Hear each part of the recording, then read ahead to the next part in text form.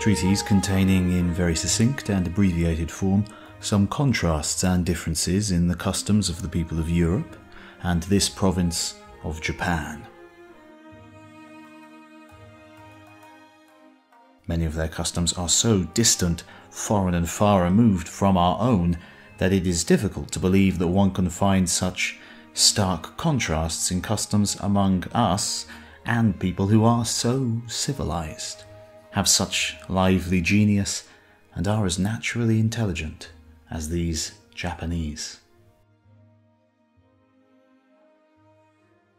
Concerning men, their persons, and their clothing. Europeans are for the most part tall and well built. The Japanese, for the most part, are not as tall or robust as we are. Europeans consider large eyes beautiful. The Japanese think they are horrendous uh, and consider beautiful eyes those that are narrow in the inner corner of the eye. We don't think it strange to have white eyes. The Japanese consider it monstrous, and it is rare among them.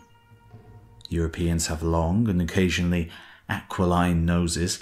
The Japanese have short noses and small nostrils. Europeans generally have full beards, the Japanese usually have sparse, scraggly beards. Well, Europeans take pride and honour in their beards. The Japanese take pride in a little tuft of hair that is bound at the, the back of their heads. Among us, men always keep their hair groomed and consider it a front to have it removed. The Japanese remove their hair with tweezers, enduring pain and tears in the process. Among us, there are many men and women who have freckles. The Japanese, while fair skinned, rarely have freckles.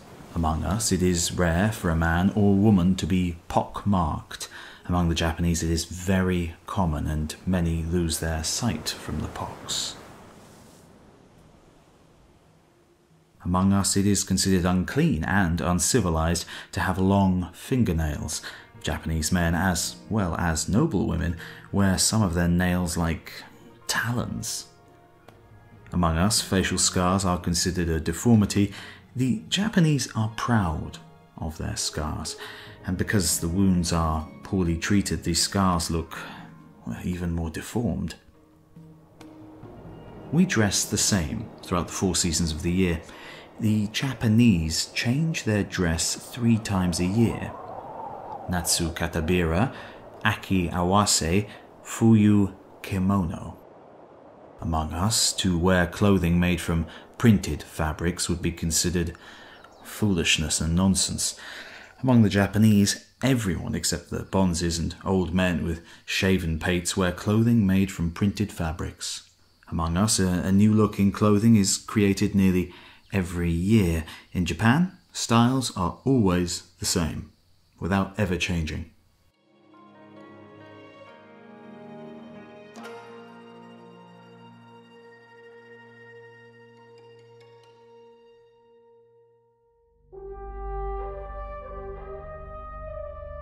We use a double edged sword. The Japanese use a, a, cutlass that only has a single cutting edge. Our swords are tested on lumber or animals.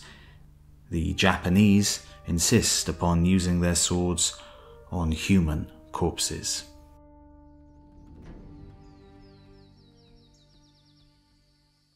We regard strolling as great recreation, as well as very healthful and calming the Japanese do not go strolling at all, and they are amazed and view our strolling as a, a hardship and a penance. Women, their persons, and their customs. In Europe, a young woman's supreme honour and treasure is her chastity and the inviolate cloister of her purity. Women in Japan pay no mind to virginal purity, nor does a loss of virginity deprive them of honour or matrimony. Women in Europe greatly prize and do everything possible to have blonde hair. Women in Japan abhor it and do all they can to make their hair black. Women in Europe part their hair at the forehead. In Japan, they shave their foreheads and conceal the part. Women in Europe rarely add hair from other sources to their own. Women in Japan buy many wigs bought through trade with China. Women in Europe think it is unattractive for their face powder and makeup to be noticeable. Women in Japan think the more layers of white powder applied, the more genteel. Women in Europe make use of methods and concoctions to whiten their teeth. Japanese women use iron and vinegar to make their mouths and teeth black.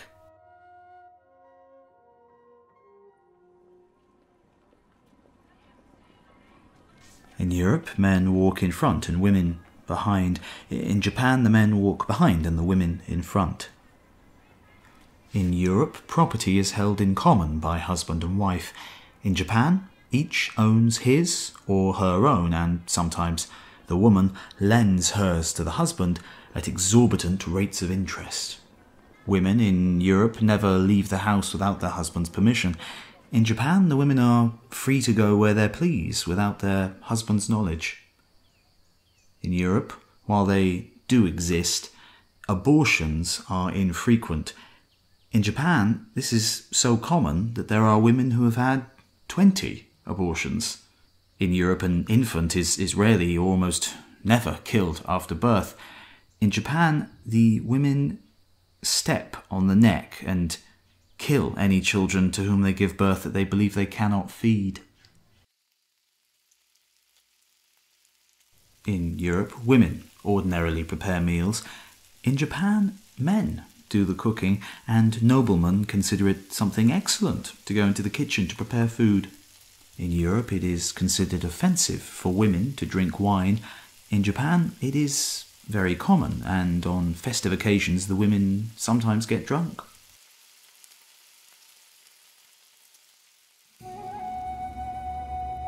Concerning children and their customs, boys in Europe wear their hair short. In Japan, they all let it grow freely up to the age of 15. In Europe, Children sleep in cradles and they use little carts to teach them to walk. In Japan, they have none of these things and use only the aids that nature provides. With us, it is normal to whip and punish a child. In Japan, this is very rare and they only reprimand them. Our children learn first to read and then to write. In Japan, they commence with writing and then learn to read. Children in Europe are reared with many kindnesses, tenderness, and good food and clothing. In Japan, they grow up half naked and essentially lack all kindness and pleasures. European parents handle affairs directly with their children. In Japan, everything is carried out using messages and a third party. In Europe, children inherit upon the death of their parents in Japan, parents relinquish their estate early in life in order to hand over the inheritance of their children. Various and extraordinary things that do not fit neatly in the preceding chapters. We show great emotion when we lose our fortunes and our houses burn down. The Japanese, as far as outward appearances go, take all of this very lightly among us, it is a great offence to call someone a liar to their face. The Japanese laugh at this and consider it polite behaviour. Among us, no one kills another except those who have jurisdiction and authority to do so. In Japan, anyone can kill in his own house. We are terrified to kill a man, but think nothing of killing cows, chickens, and dogs. The Japanese are terrified to see animals killed, but killing men is commonplace.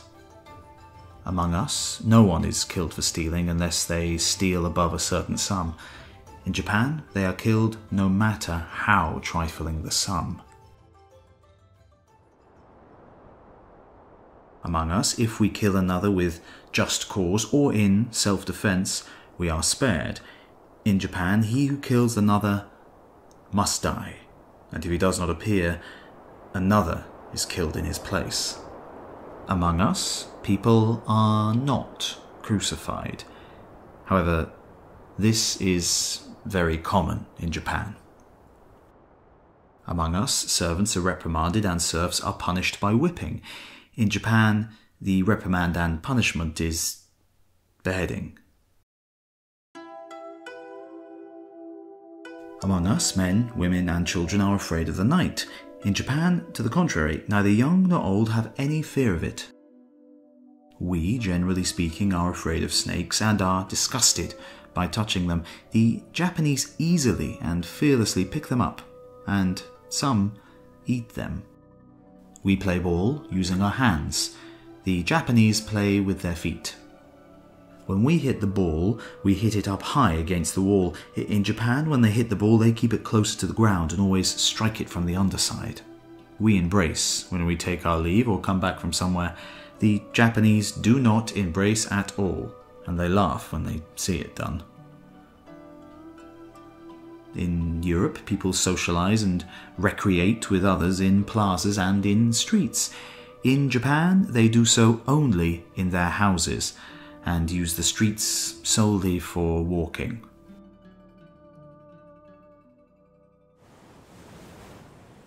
Among us, a fake smile is considered frivolous.